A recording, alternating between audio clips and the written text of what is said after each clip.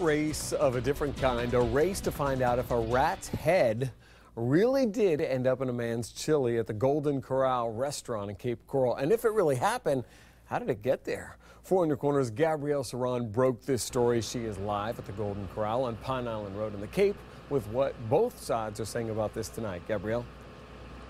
Patrick, Amy, the Golden Corral here is investigating these allegations. And just this week, the restaurant had a consulting firm pick up the rodent head.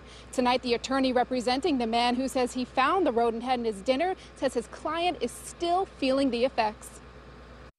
Three weeks after 36 year old Billy Wilson says he found this rodent head in his chili at the Golden Corral in Cape Coral, his attorney says his client still feels traumatized when he eats. Anytime he sits down to eat, you know, he's, he's a lot more in tune to what he's eating and inspecting all his food. That's what happened to this single dad who was treated the next day for gastroenteritis.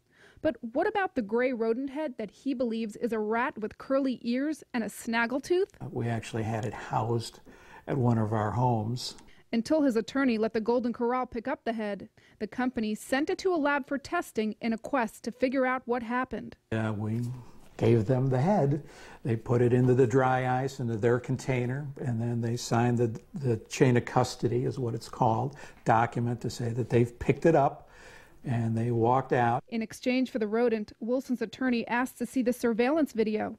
That would not only show the area where my client was sitting, but also show the buffet area where the chili would have been put onto the plate. But he's still waiting on it. Due to whatever procedures Golden Corral has that apparently it's not so easy to get those surveillance tapes. That perhaps show images of the unforgettable night this once Golden Corral regular just wants to resolve. We have nothing to hide.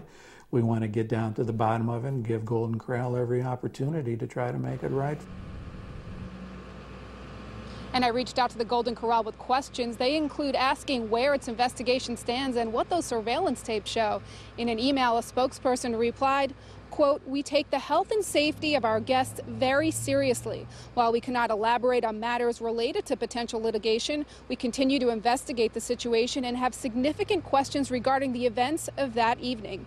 And Wilson's attorney says he expects to have the rodent head returned to him in about two weeks. We're live in Cape Coral. Gabrielle Saran, Fox 4 in your corner. All right, thanks, Gabrielle.